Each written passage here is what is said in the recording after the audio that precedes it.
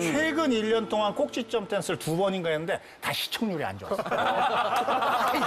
이게 최악 아니야, 이게. 시청률 올라가야 돼. 네네네. 성령의 누나 때문에도 네네. 무조건 올라야 성령의 힘에서 쫙 올라가야 돼.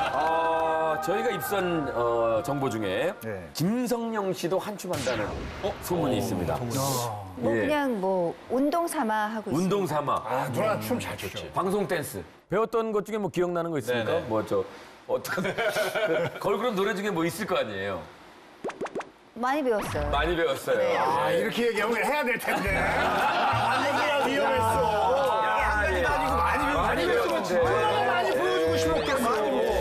아니라 아, 나도 가끔 이런 거 하잖아. 그럼 댓글에 아주 발악을 한다, 발악을. 그런 댓글이 그 있어. 친구들은 뭘 해도 고깝게 봐.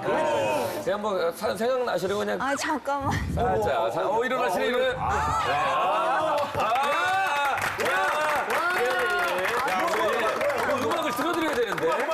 음악? 음악 음악 뭐뭐 뭐 드릴까요? 수지의 Holiday를 배웠어요. 수지 수지네 수지 수지 수지네. 맞았네. 아, 형 그치 어려운데. 오늘은 holiday 네 품에 안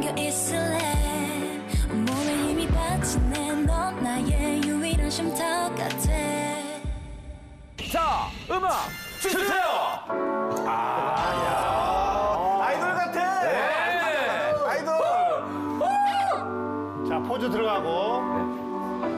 오늘은 holiday 네 품에 안겨 있을래 어머 어머 어머 어머. 힘이 제대로 배우셨네.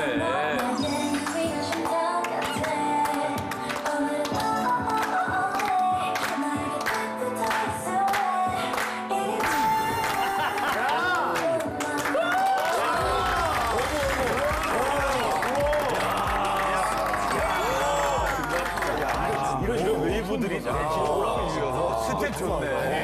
20대. 아니 거울 없이 치니까 저, 저 거울 없이 친거 처음 그렇지, 거울이 그렇죠. 또 하우하우 거울 앞에 있는. 원래 거울 줘봐. 다시 한번안 돼.